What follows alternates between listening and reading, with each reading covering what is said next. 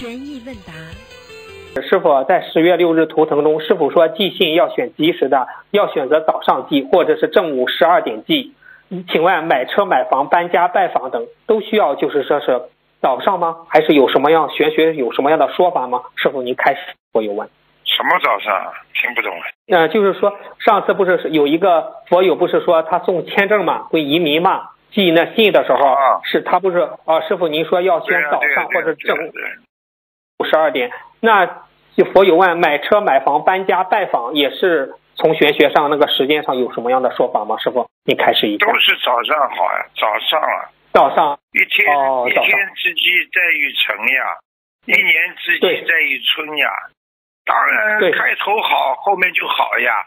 开头都不好，来不及的乱七八糟的填个表格，哎呀，要赶到五哎点钟邮局关门之前寄进去，你难免写的乱七八糟，你看都没办法看了呀。